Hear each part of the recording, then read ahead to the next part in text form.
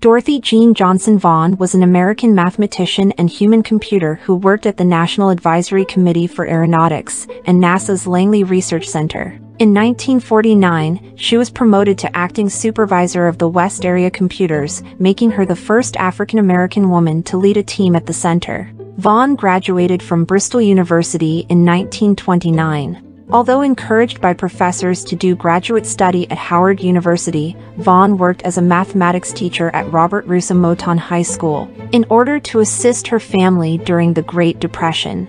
During the 14 years of her teaching career, Virginia's public schools and other facilities were still racially segregated under Jim Crow laws. In 1935, the NACA had established a section of women mathematicians who performed complex calculations. In 1941, President Franklin D. Roosevelt issued Executive Order 8802 to desegregate the defense industry and Executive Order 9346 to end racial segregation and discrimination in hiring and promotion among federal agencies and defense contractors. These helped ensure the war effort drew from all of American society after the United States entered World War II in 1941. With the enactment of the two executive orders, and with many men being swept into service, federal agencies agencies such as the National Advisory Committee for Aeronautics also expanded their hiring and increased recruiting of women, including women of color, to support the war production of airplanes. Two years following the issuance of Executive Orders 8802 and 9346, the Langley Memorial Aeronautical Laboratory, a facility of the NACA, began hiring more black women to meet the drastic increase in demand for processing aeronautical research data. The U.S. believed that the war was going to be won in the air. It had already ramped up airplane production, creating a great demand for engineers, mathematicians, craftsmen, and skilled tradesmen. In 1943, Vaughan began a 28-year career as a mathematician and programmer at Langley Research Center, in which she specialized in calculations for flight paths, the Scout Project, and computer programming. Her career in this field kicked off during the height of World War II. She came to the Langley Memorial Aeronautical Laboratory thinking that it would be a temporary war job. Vaughan was assigned to the West Area Computing, a segregated unit, which consisted of only African Americans. This was due to prevailing Jim Crow laws that required newly hired African American women to work separately from their white women counterparts. They were also required to use separate dining and bathroom facilities. This segregated group consisted of African American women who made complex mathematical calculations by hand using tools of the time. The West computers made contributions to every area of research at Langley. Their work expanded in the post-war years to support research and design for the United States space program, which was emphasized under President John F. Kennedy. In 1949, Vaughan was assigned as the acting head of the West Area Computers, taking over from a white woman who had died.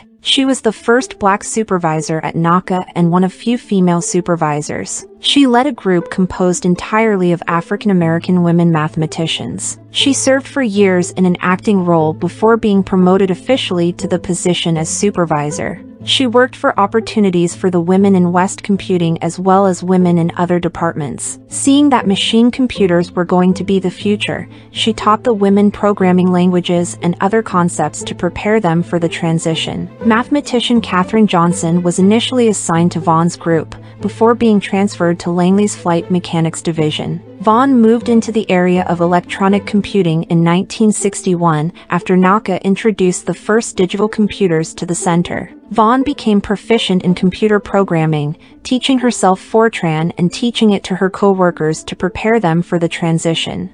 She contributed to the space program through her work on the Scout Launch Vehicle program. A blog describing her work at NASA is on the Science Museum Group website. Vaughan continued after NASA, the successor agency, was established in 1958. When NACA became NASA, segregated facilities, including the West Computing Office, were abolished. In a 1994 interview, Vaughan recalled that working at Langley during the space race felt like being on the cutting edge of something very exciting.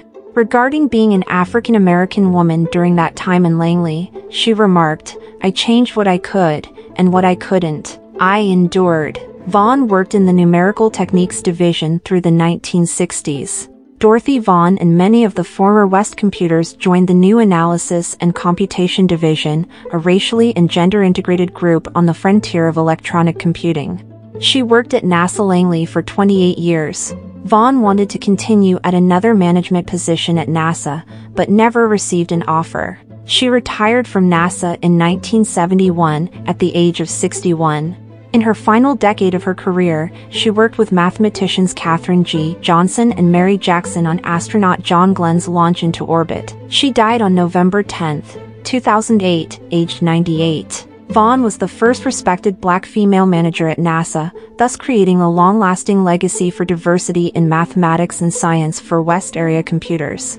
As one of the first female coders in the field who knew how to code Fortran, she was able to instruct other black women on the coding language and paved a wave of female programmers to integrate their work into NASA's systems. In 2005, a scholarship fund with the Salem Community Foundation was created under Dorothy Vaughan's name to further music training by the Salem Music Study Club.